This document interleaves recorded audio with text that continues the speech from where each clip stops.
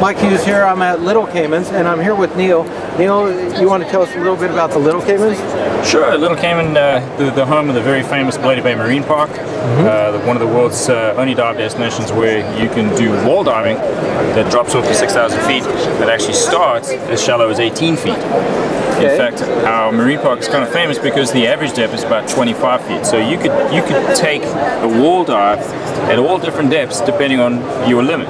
It doesn't have to be, you don't have to do a deep dive. You could have a 10 year old at 40 feet, you could have a 13 year old at 60 feet, and you can have a very experienced diver at, at 100 feet, no problem. And uh, it's fun for the whole family. Um, What's your favorite place to dive there? My favorite place to dive is a dive site called Mixing Bowl. Okay. Also known as Three Fathom Wall. How deep is a fathom? I forget. Six feet. Sure. So three fathoms is 18 feet. Oh, now we're doing math. Oh, yeah. I didn't do that in so math. 18, 18 feet at the top of the wall, right? Right, so like six fathoms. meters. Yeah, no. Close. Close okay. six meters. this interview is going down. okay, all right. But yeah, three fathom wall, mixing bowl, my favorite zone. Okay, and what do you see there? Uh, it's the it's actually the, the part in the marine park where we split from sheer walls, right, which is the Bloody Bay section of the Bloody Bay Marine. Park. Mm-hmm. It then connects into the Jackson Bight section of the Bloody Bay Marine Park, which is characterized by a sort of shallow mini wall that drops off into a sandy boulevard and then onto the main wall and down. And this is where the two sections of the marine park meet, and it's just a like. Does it have a couple different names for that one spot? Just no, it, it, it, its old name was Three Fathom Wall, but okay. it was renamed quite a long time ago as, as Mixing Wall. I see. Okay, and and okay, and then um, normally they stay there about a week too. Is it? Uh, most, most customers will come in Saturday to Saturday or Saturday, Wednesday to Wednesday, Saturday. Over from um, yeah, Cayman, Grand Cayman sure. as well. Sure, it's a short flight. It's only 35 minutes from Grand Cayman.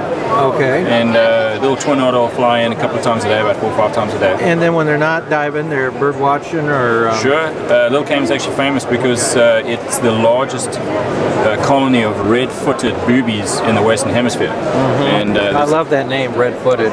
Yeah, red-footed, red-footed boobies. Oh yeah. And uh, so it's a breeding colony. It's actually a, a Ramsar site, which means it's a, a wetland of international uh, importance.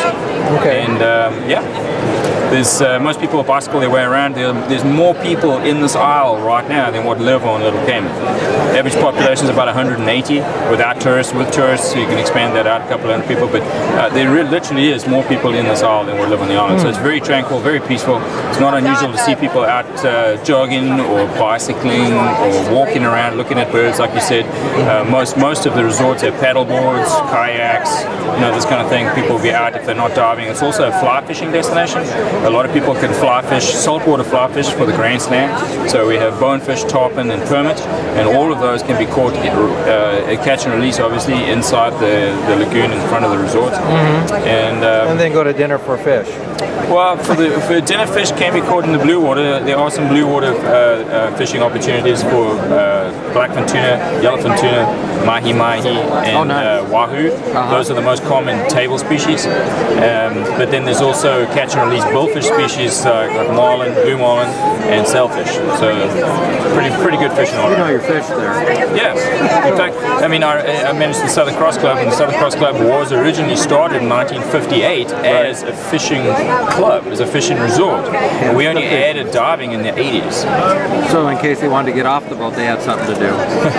well, the marine park was actually established in 1986. Okay. Uh, which makes it the second oldest marine park in the Caribbean outside of the Cuban Jardín de la Reina.